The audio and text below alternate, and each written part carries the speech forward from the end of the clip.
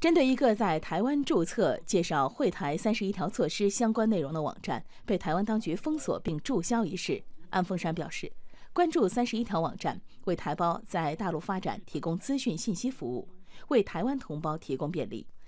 民进党当局的所作所为是在阻碍台湾同胞获得更好、更大发展的机会。民党当局的